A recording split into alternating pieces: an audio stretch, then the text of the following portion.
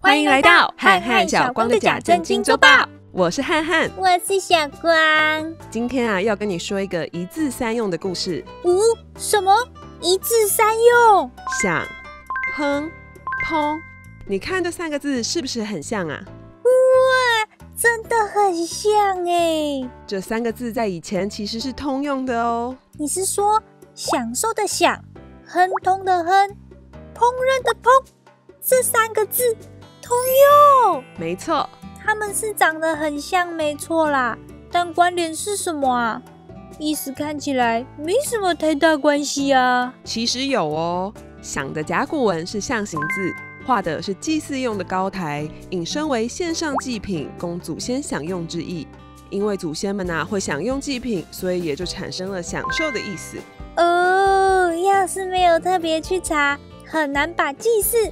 跟“想”这个字连接在一起耶，那“哼”和“烹”呢？为什么通用？烹啊，是因为献上祭品前要先把祭品煮好，所以以前的“想”字也引申为烹煮之意。后来为了分别，再加上“火”，才成为现在的“烹”字。你这样一说，好像蛮有道理的。那“哼”又是为什么呢？哼，不是有顺利通达的意思吗？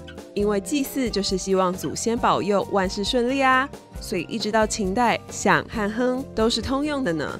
而且啊，哼到现在其实还是个破音字，有砰的念法哦，只是很少人会这样用而已。原来这三个字有这么大的渊源，要是不讲都不会想到呢，对吧？那今天的资讯也够丰富了，我们就下次再见喽，大家拜拜。